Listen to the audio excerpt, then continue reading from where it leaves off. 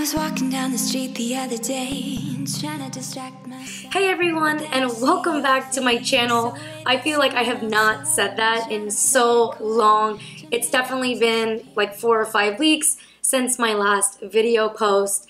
Um, Happy New Year first and foremost because it is 2018 now and I cannot believe it's already 2018. Like where is time going? But it is a new year which means I am revamping my closet. It also has to do with the fact that I just moved. As you can see, it's a completely new setup. Behind me, I actually moved apartments specifically for YouTube. I didn't have a lot of lighting in my other apartment.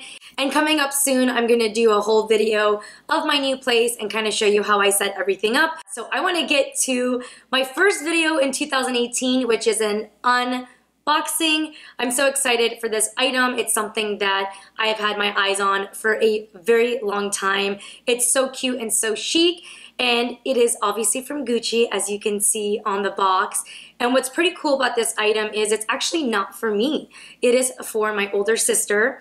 We both wanted the same item. We were gonna get it in different colors, but I am doing the unboxing of hers first because I actually ended up getting something completely different and I'm gonna show you that in the next unboxing video. But let's get to it. I'm excited to show you this piece. And what's even more interesting about it is it looks different in person, a combination of the color and sizing and things like that. So that's why I really wanted to do a video on this item because I know it's a very popular item. All your favorite celebrities and bloggers are wearing them. So let's get to it. Let's see what's in this box and time to open it up.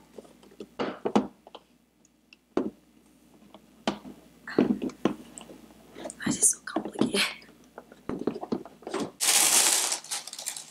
So of course this piece comes with the dust bag. It's a traditional white silk Gucci dust bag. It has the writing right there. And if you follow me on Instagram, you already know what's in here because I did an Insta story when I was at the Gucci store. I did show a bunch of different items, but this is one of the items that I posted up. So if you don't follow me already, make sure to follow me at Lina Noory on Instagram. That's kind of where I do most of my videos for shopping. Now this item is known as the Gucci Marmont leather belt bag which is pretty much a fanny pack, but I feel like that's just like the fancy terminology they give it. But I love this fanny pack. It gives me Kelly Kapowski vibes. If you guys watch Saved by the Bell, she was always wearing that like neon fanny pack. But I love this bag and my sister wanted it in the beige. This is the beige leather and I was gonna get it in the black leather. But what ended up happening was when I went to the store, I saw something that was a little bit different, which I will do an unboxing of next. But this bag is everything and I love the color. I love the beige tone. It's not more of like a pink tone. If you guys have any Valentino pieces or the Givenchy Antigona, they have kind of more of like a pink or lighter leather. This is definitely more of a darker beige, so you can wear it from daytime to nighttime.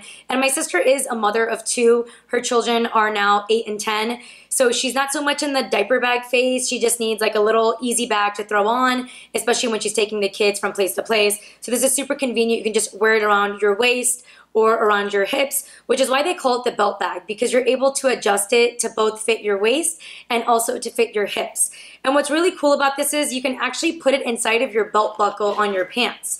Now, if you do have the lighter wash, I wouldn't recommend putting it on dark denim. Definitely get a leather protector first, which is what I always recommend when you do get a lighter colored handbag in leather um, or actually any kind of material, even if you have suede, make sure to always get protector on. You can either do it yourself or I always recommend getting it done professionally just to be safe. But yeah, definitely avoid denim. And if you are gonna wear denim, make sure it's something that you've washed at least four or five times to make sure that a lot of the denim coloring doesn't come off as easy. And here is the actual belt buckle. So this is pretty much a belt. If you look at it, it just looks exactly like a traditional Gucci belt except of course it doesn't have the GG monogram. And you just stick it into right here.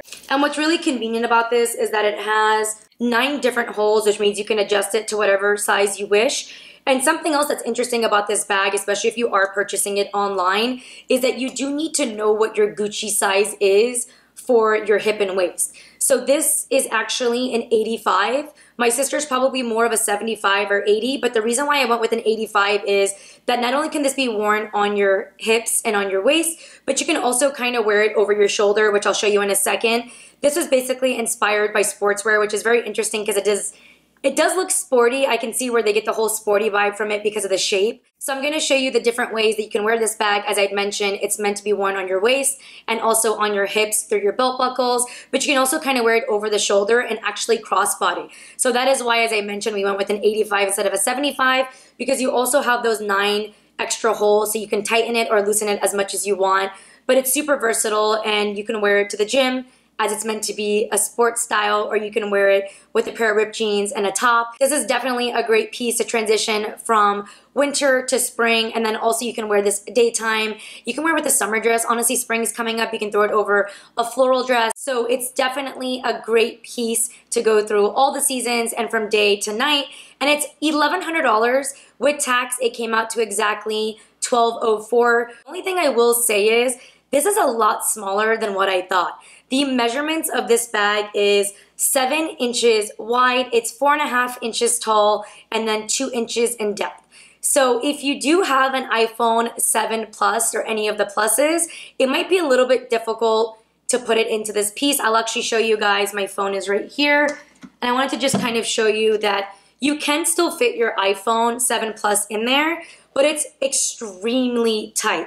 So as you can see, it pretty much fit my iPhone 7 Plus. It's kind of peeking out of the corner right there. You could still definitely close it, um, but there won't be a lot of other room for anything else. You can maybe throw in like a credit card and ID, some cash. Is in here. You can throw like an eyeliner, possibly a mascara, lip liner, um, and then definitely a lipstick will fit in there. And as you can see, you can fit an iPhone 7 Plus, but it's pretty tight in there. Now this bag also comes in other colors. It comes in the black and gold the red and gold, and then there's also a bunch of different velvets with crystals on it. So you're into the velvet and the crystals. There's three options. I believe there's like a black, a pink, and then an emerald green. I really love the emerald green color. I'm just not a huge fan of crystals. I don't like all that embellishment on a bag. And I also am not a huge fan of velvet because it's seasonal, which means that you can wear it pretty much through fall and winter, but it's gonna be kind of hard to pull off um, in the spring and summer. So leather is the way to go, especially if you want to get the most use out of it. And also it's more of a neutral color, so it'll go with a lot of different pieces.